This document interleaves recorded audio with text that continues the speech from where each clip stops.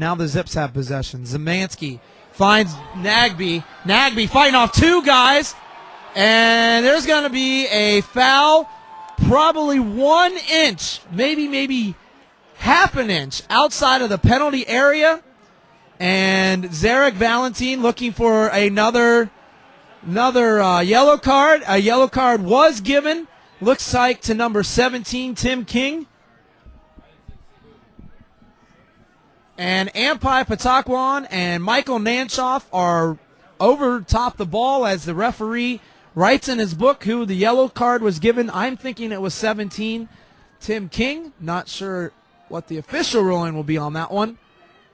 But this ball is going to be 18 yards and a half an inch away from Jordan Godsey.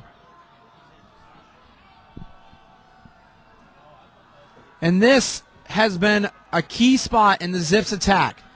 You remember the first home match against Indiana, a little bit further out, Ampaipitakwong had a nice strike in the first half. Then Michael Nanchoff scores in the second half.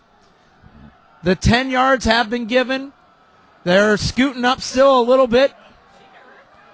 And the center referee says, no, you're coming here saying, You're here. No scooting up. They're still trying to scoot up. And it'll be on the whistle. No. Back up, he says. Six man wall. And the whistle has blown to continue play. Nanchoff going to take the shot. Goal! Boom!